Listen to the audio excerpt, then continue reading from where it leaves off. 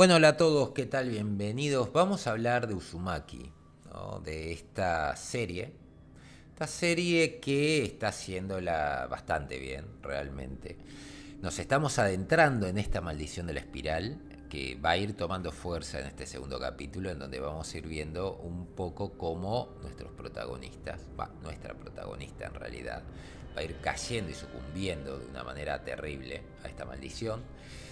Vamos a tener también algunas, digamos, eh, algunas eh, alusiones a distintas, digamos, distintas cosas, explicaciones, ya va a aparecer el faro, eh, y de a poco este pequeño pueblo va a ir cayendo en esta terrible maldición, va a comenzar la locura, que supongo que ya en el próximo capítulo esto va a ser totalmente caótico, ¿no? Entonces básicamente lo que te van a ir contando es eh, la historia de una pareja, ¿no? Que quieren estar juntos y se habla un poco de que un poco de la parte emocional, ¿no? Que afecta dentro de este pueblo o que favorece a la caída, a la maldición de la espiral, porque al final del día es de acuerdo a tus, tus carencias, digamos, o tus problemas. Eh, cómo te va a afectar, ¿no? Esta pareja empieza viendo, digamos, una serpiente, ¿no? Cómo las, hasta los animales están cayendo en la maldición de la serpiente. Con eso te muestra de que esta maldición prácticamente eh, afecta a todo el mundo, ¿no? También se hace un poco alusión a que hay gente que ha sido cremada en distintos lugares del mundo que son oriundos de esa de esa villa y que ya están malditos y que cuando los creman se genera una espiral, demostrándote que independientemente que te vayas del pueblo, si naciste o estuviste en ese pueblo, estás maldito y estás jodido, pero totalmente jodido, ¿no? Va a haber un muchacho que va a estar tratando de cortejarla, ¿no? Muy creepy él, muy creepy lo más creepy que he visto, que va a tener un final que va a ser terrible, porque básicamente va a querer demostrarle su amor a Kirie, eh, poniéndose enfrente de un auto y el auto lo va a pasar por arriba y él se va a enroscar en la rueda, ¿no? Y va a quedar muerto. Eh, te va a contar un poco el drama de esta, digamos, esta joven pareja, ¿no? Que quieren escapar juntos, justamente por la maldición, ¿no? Hablando un poco de lo que es eh, resentimiento, más que nada por ser pobres, del barrio donde vive este muchacho. Y obviamente van a terminar presas de la maldición y escapando, ambos torneados uno con el otro. digamos, muy creepy todo, todo muy creepy. Eh, creo que la parte de animación de esta serie está muy bien hecha y el ritmo de cómo te están contando la historia, creo que cuatro capítulos puede dar, puede dar bien tengo miedo de que esto termine acelerándose, pero bueno, seguimos teniendo los paisajes y mostrando cómo hasta las plantas inclusive están cayendo poco a poco en esta maldición de la espiral y cómo esta maldición ya condenó el pueblo. O sea, la gente del pueblo y los que sí, los que no conozcan el cuento, ¿no? Pero la gente del pueblo ya está condenada, no hay escape. Es lo que te está diciendo este capítulo. Lo que vamos a ver a continuación es el descenso a la locura. Un descenso a la locura total. Mm, va a empezar Kirie con, digamos, eh, sus pelos empiezan a tornearse. No, la dejan cortarse el pelo, básicamente. Y una de sus amigas va a querer, eh, digamos, eh, ser el centro de atención y de alguna manera va a terminar invocando esta maldición. Eh, Kirie intenta hacerse una trenza, pero los pelos tienen vida propia prácticamente y siguen generando esos bucles, creciendo y demás.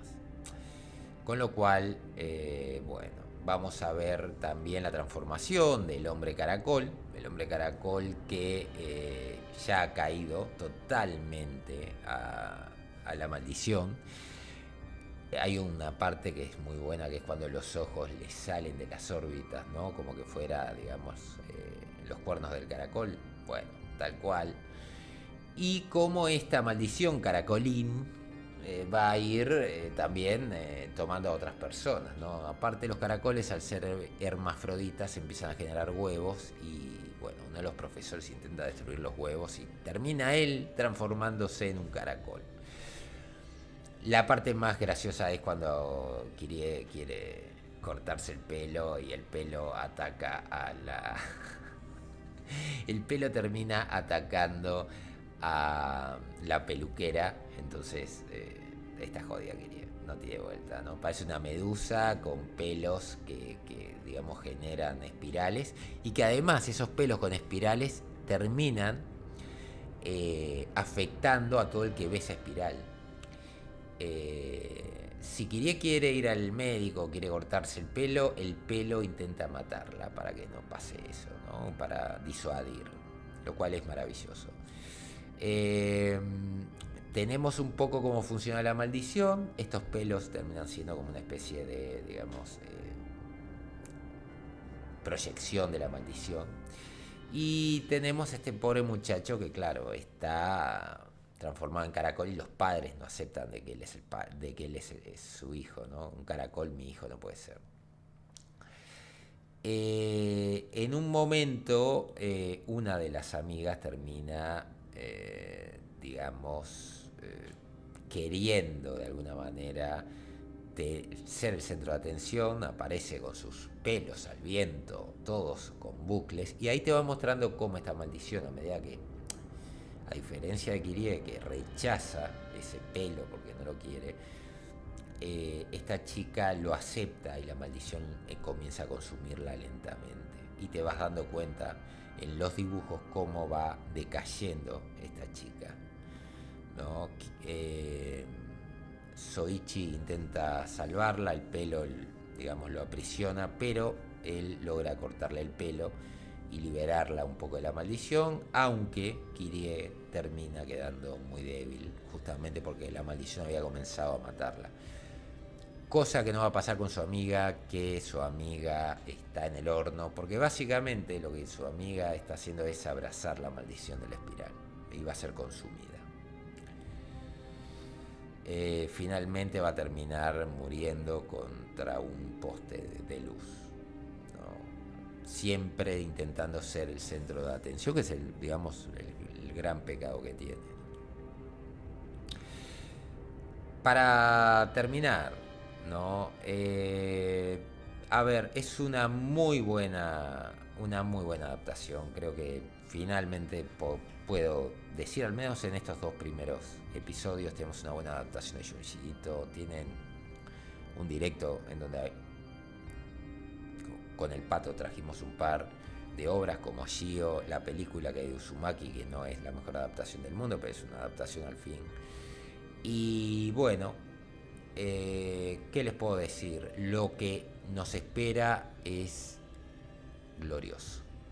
Capítulo 3 y 4 va a ser un descenso total a la locura, un no parar que es lo que tiene pinta, ya está especificado, hay gente que está caminando en espiral y no puede caminar derecho y bueno, creo que la historia más triste es la de estos dos enamorados que terminan siendo eh, torneados uno al otro para que no los puedan separar y se terminan escapando hacia el agua. Eh, lo otro que te muestran es que la maldición ha llegado hasta el faro. Eh, debajo del faro hay. Va, debajo del faro eh, debajo de, la villa hay eh, una cosa, ¿no? Pero hace mucho la alusión de lo que es el faro y te muestra gente que ha sido calcinada justamente por el calor de la luz del faro. En donde termina eh, este capítulo con Kirie cayendo del, faro. Así que bueno, si la vieron me gustaría saber ustedes qué les pareció. ¿Les parece una buena adaptación? ¿Les parece una mala adaptación? Dejen lo que opinen en la caja de comentarios. Saludos a todos y nos vemos en la próxima. Adiós.